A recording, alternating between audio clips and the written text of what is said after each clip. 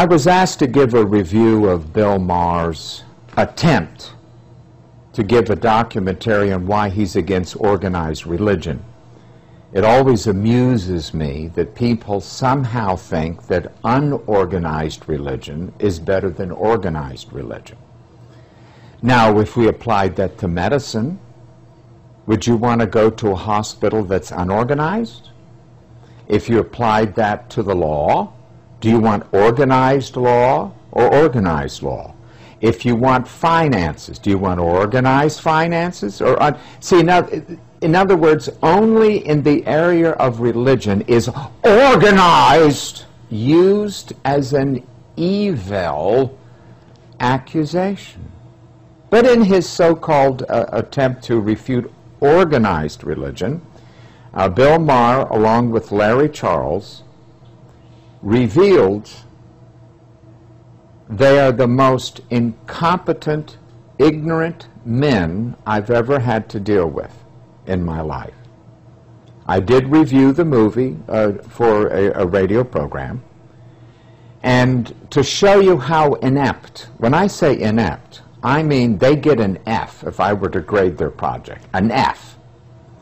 Larry Charles said, it's hard for me. I have a PhD in Islamic studies, so you must understand it's very difficult for me without laughing to tell you this. Larry Charles claims that Muslims believe that Muhammad was God just like Christians believe that Jesus was God. Now, if you're a Muslim watching this review, you would agree with me 100% that Muslims do not believe that Muhammad was God. He was the Prophet, the Rasul, the apostle or prophet of Allah. No Muslim would ever claim that Muhammad was God. But you see, how could such ignorance be put out in public display? And then when Bill Maher, who was raised nothing, he had one parent that was Roman Catholic, so again, Roman Catholicism is a pagan, Christian, jumbled up mess that I don't defend it, I condemn it. And another parent was Jewish. I don't know, was it a Jewish dad and a Catholic mom or vice versa? But he received no religious education except very minimal. This is what I have, to, again, I have to constrain myself from laughing. Bill Maher objects to Christianity, again, which he thinks is Roman Catholicism.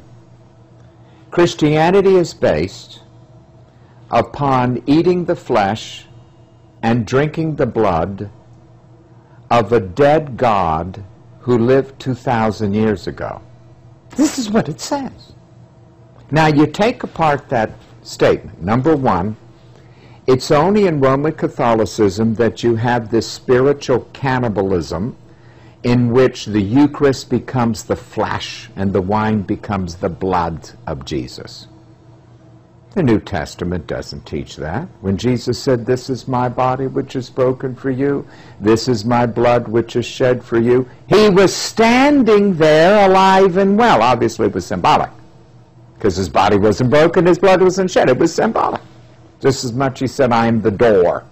He's not a door, nor the vine, things of this nature. But Roman Catholicism teaches this cannibalism that when you eat the bread, you're eating Jesus, you're chewing Jesus. Now, this form of cannibalism, as a, as a Protestant, I reject too. I'm not interested in eating people's flesh or drinking their blood. That's where Jesus said, look, look, it's symbolic. The flesh and the blood would not profit you anything, literally speaking. But the words that I give you, the symbols, their spirit and their life. So here Bill Maher says, with his bathroom humor, junior high sarcasm, well, eating and drinking the flesh and the blood of a dead God from 2,000 years ago. the joke was on him. Christianity doesn't teach that. Catholicism teaches it not Christianity. So you see, they don't even understand Islam. Islam does not teach that Muhammad was God. Neither do they understand biblical Christianity, which does not teach cannibalism. So, as I sat there watching, along with six people in the movie theater, six! The atheists were waiting for blood in the street. There were a few one liners, a few zings.